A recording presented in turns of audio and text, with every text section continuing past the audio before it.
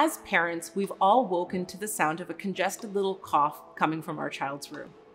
We want to take care of them, we want them to rest, and we want to rest. So Maple Organics has made a cold congestion junior product which enhances the body's natural ability to fight colds and infections. We use organically grown eucalyptus oil, sitting in organically grown cocoa butter, to deliver the therapeutic benefits of eucalyptus, which open up airways and allow your child to sleep. These products are completely made in a plant-based method without any synthetic chemicals, without any petroleum jelly, or any of the toxins that you don't want in your child's body. This product also differs from our cold and flu therapy for adults because it does not contain camphor or rosemary. Those items are contraindicated for children.